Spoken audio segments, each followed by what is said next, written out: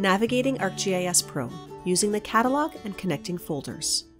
The ArcGIS Pro catalog is the bridge between the software and the files on your computer or network.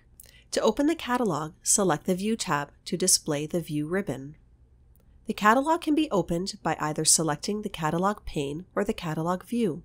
If you select the catalog pane, it will appear on the right side of your screen. If you select the catalog view, it will appear in the center of your screen. Items contained within the catalog include maps, toolboxes, databases, styles, folders, and locations. Additionally, new workspaces added to your project will appear in your catalog. For example, opening a new layout will create a layout folder in the catalog. The Maps folder contains all the maps that currently exist within the project. The Toolboxes folder contains the geoprocessing tools contained in ArcGIS. The Databases folder allows you to easily access databases related to your project. The Styles folder contains the visuals used in ArcGIS, such as colors and icons.